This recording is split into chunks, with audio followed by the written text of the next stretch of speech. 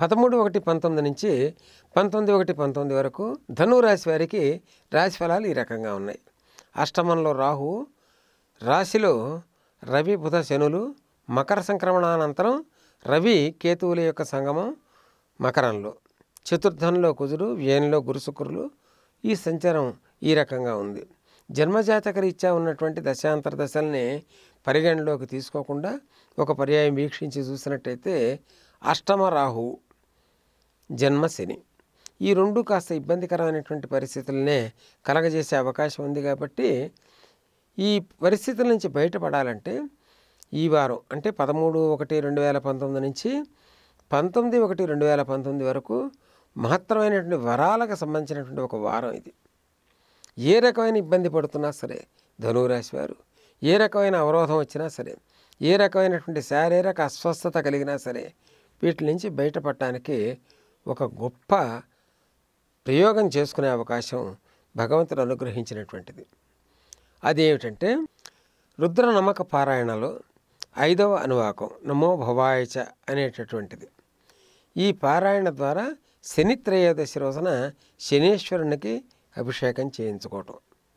తద్వారా కలిగే లాభం ఏమిటంటే అష్టమ రాహు యొక్క సంచారం ద్వారా కలిగేటువంటి అనేక రకాలైనటువంటి ఇబ్బందుల నుంచి బయటపడవచ్చు జన్మ శని ద్వారా వచ్చేటువంటి ఇబ్బందుల నుంచి బయటపడవచ్చు ద్వితీయ వ్యయంలో ఉన్నటువంటి గురుశుక్రుల యొక్క చతుర్థంలో సంచరిస్తున్నటువంటి కుజుని యొక్క దోషాల నుంచి బయటపడే అవకాశాలు ఉంటాయి.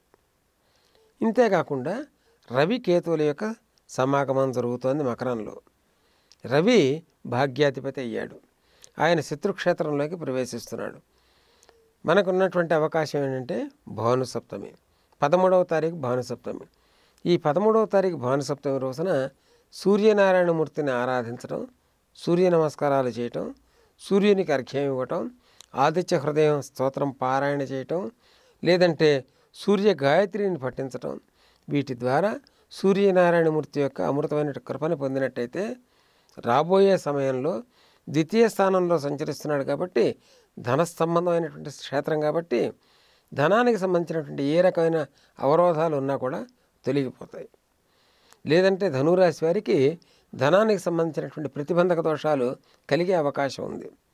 ఆ అవకాశం అటువంటి ఇబ్బందుల నుంచి బయటపడాలంటే ఈ వారం రాజయోగకారకమైనటువంటి వారం కాబట్టి సద్వినియోగం చేసుకోవాల్సినటువంటి పరిస్థితి ఎంతైనా ఉంది.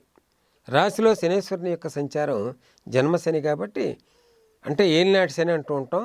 ఏడున్నర సంవత్సరాల శని సంబంధించినటువంటి సమయం కాబట్టి ఈ శని సంబంధించినటువంటి సమయం నుంచి దీంట్లో ఉత్పన్నమయ్యేటువంటి ఇబ్బందుల నుంచి బయటపడాలి అంటే కేవలం శని త్రయోదశి. శని త్రయోదశి మహత్తరమైనటువంటి ఒక అవకాశం.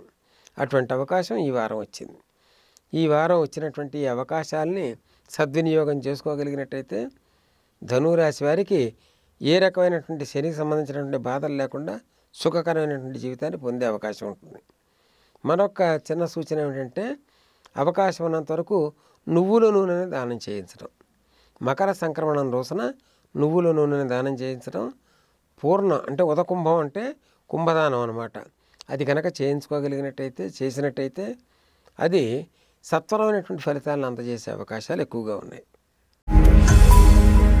ఈ వీడియో గనక మీకు నచ్చినట్లయితే లైక్ చేయండి షేర్ చేయండి.